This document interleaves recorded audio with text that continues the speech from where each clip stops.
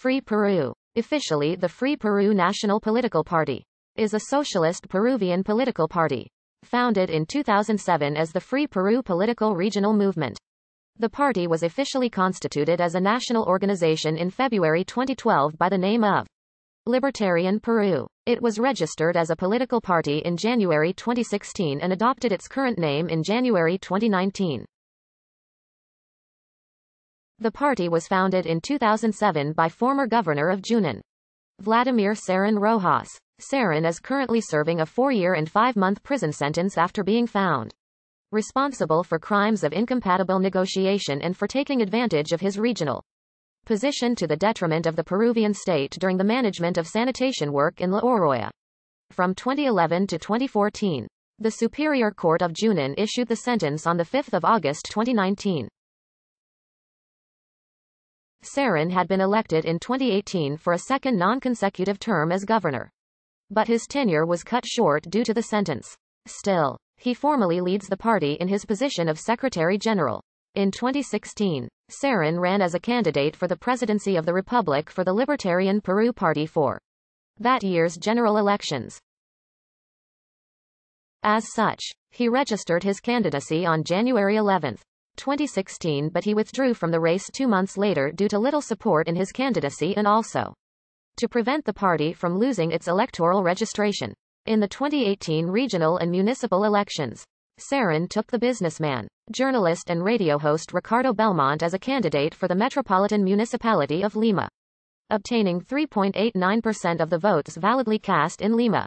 At the legislative elections held on 26 January 2020, the party won 3.4% of the popular vote, but no seats in the Congress of the Republic as the party failed to reach the electoral threshold.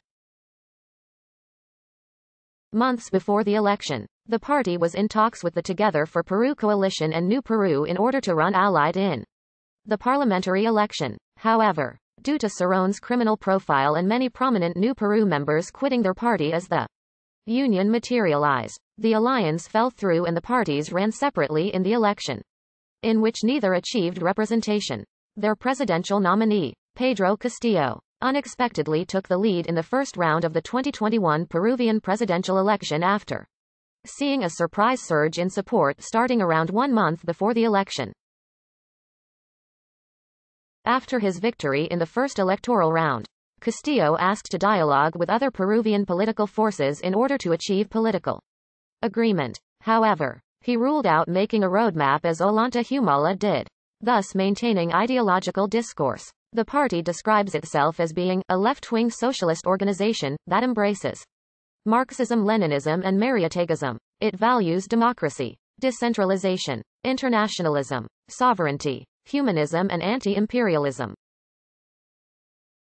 Following his success in the first round of presidential elections in 2021, Pedro Castillo has said that he opposes communism, distanced himself from far leftists in the party and said that he would lead the party instead of Cerrón. In domestic affairs, Free Peru is opposed to neoliberalism and states that their party seeks to rescue the minimized, almost imperceptible and dying state from the subjugation of market dictatorship.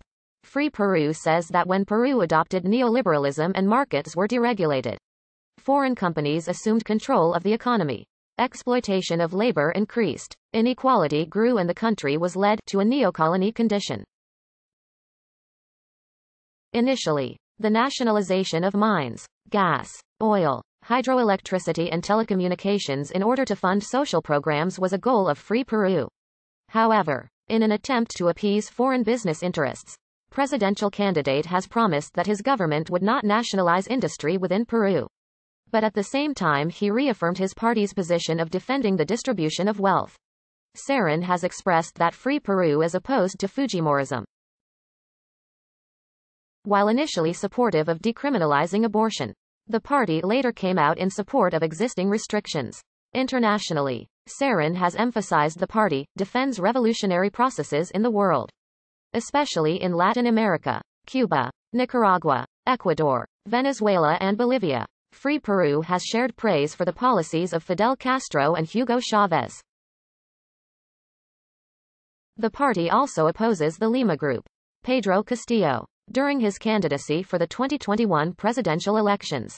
Defended the government of Nicolas Maduro in Venezuela, describing it as a democratic government. He would later retrace his statements, stating, There is no Chavismo here.